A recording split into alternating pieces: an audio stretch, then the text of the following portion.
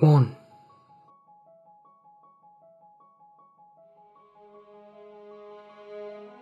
Two.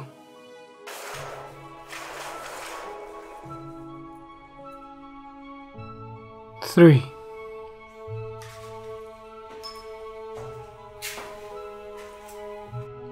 Four.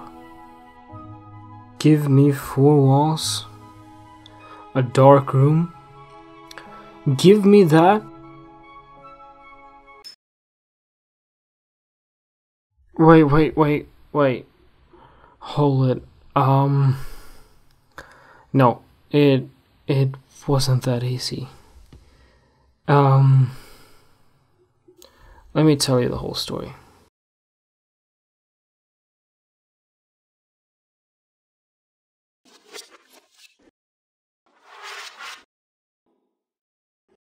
Have you ever felt alive? Now, no, think think about it. Have you ever felt alive? Now, I don't mean waking up, eating breakfast, going to work, coming home, sleep, and then repeat.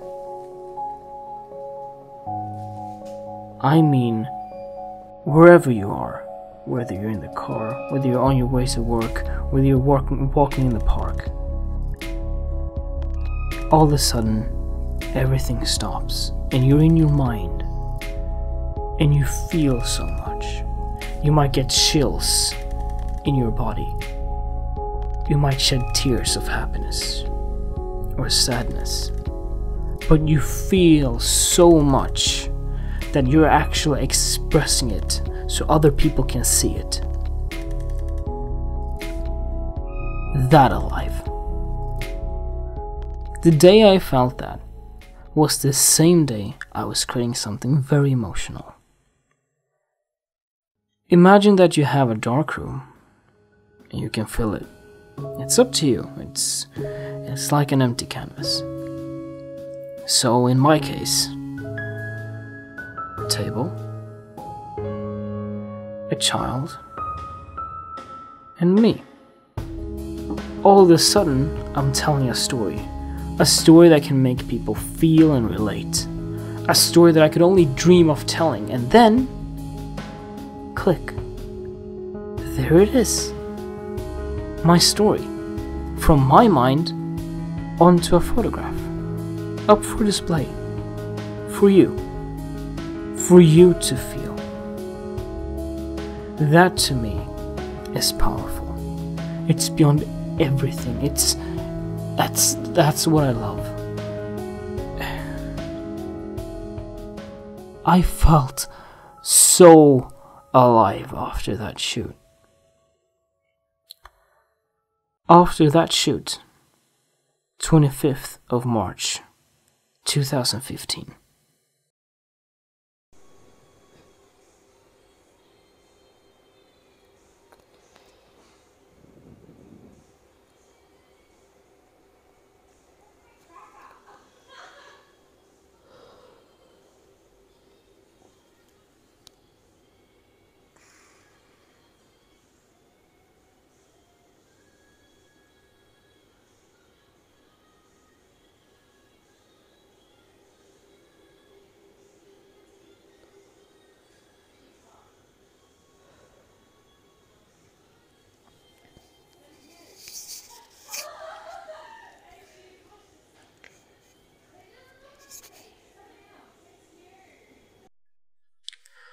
So, have you ever felt alive?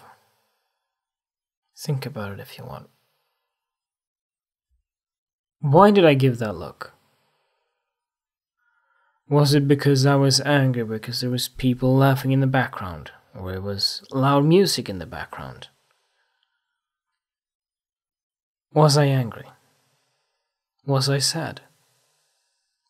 That look right there is me finding my purpose in life and doing whatever it takes to achieve that purpose.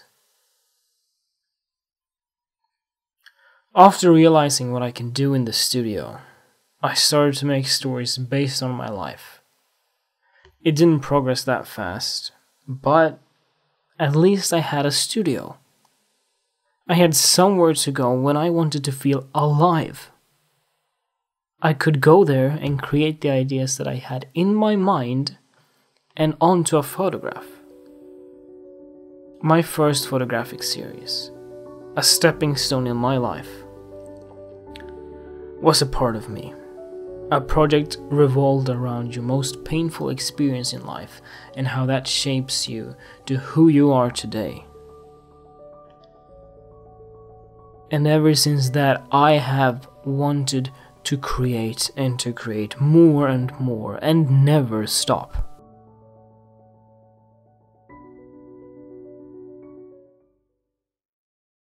Now, this was all when I was in Australia. But who was I before that? I was Dennis Forsberg, 18 years old, checking in. Next stop, Australia. Wait, wait, wait, what? Australia? What the hell was I thinking? Honestly, I, I didn't think. The only thing I could think about was, oh cool, up in the air and flying to the place where there are palm trees, just like in the movies.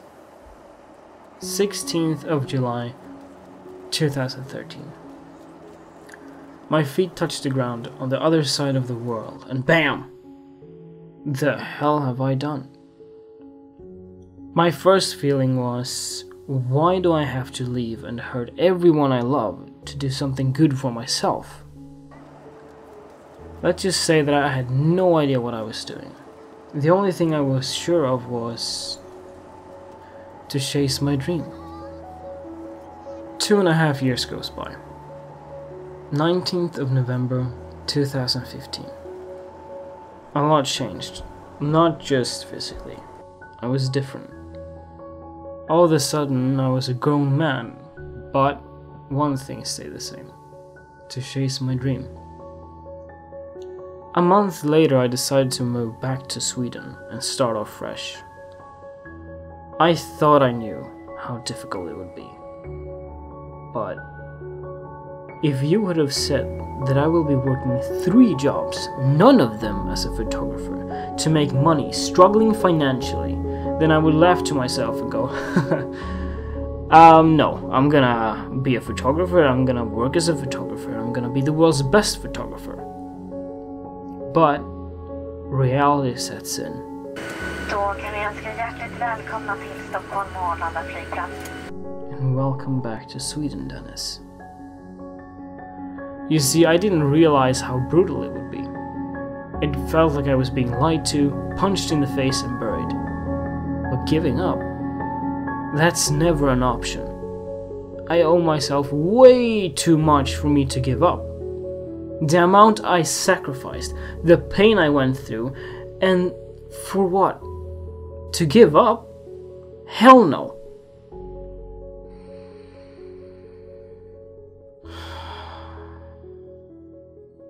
You see, I've had my ups.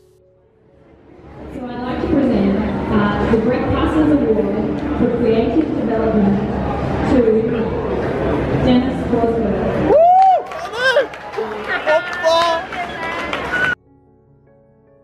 And I sure as hell have had my downs.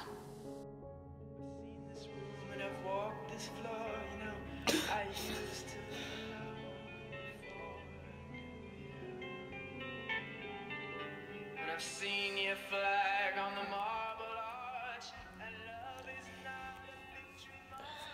It's a call. Uh, I'm looking through my books right now because I want to start a new project. Because right now I can't do that part of me because I need a studio, I need things that I don't have used yet. But I'm building myself up again. I can damn promise you that, Dennis. Well,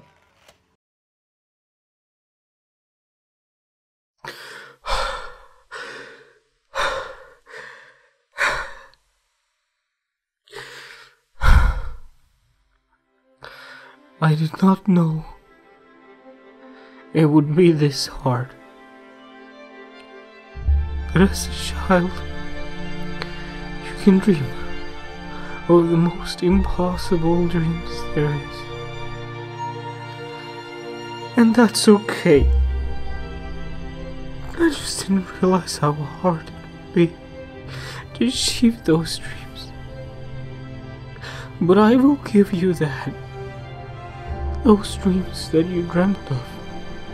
I will give them to you. I will fight. I will sacrifice.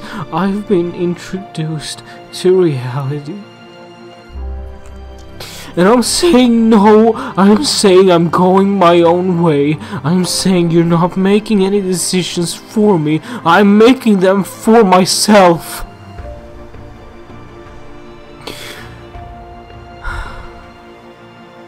I did not realize how many obstacles and how much everyday life affects you mentally.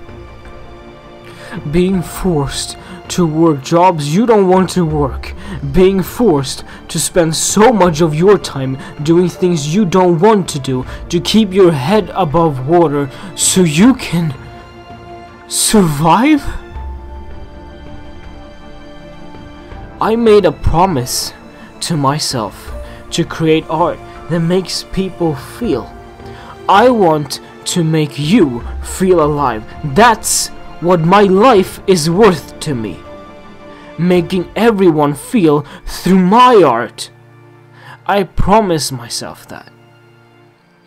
And when I promise myself something, I tend to keep this one. I will keep this one, especially when it's the thing I love the most. It doesn't matter how hard I fall. It doesn't matter what achievements I accomplish. I'm gonna keep moving and never stopping. You make your own luck, and you don't give up.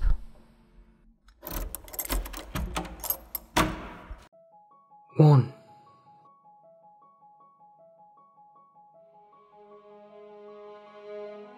Two.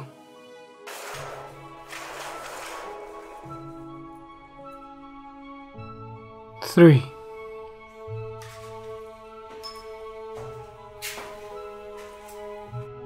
Four. Give me four walls, a dark room. Give me that,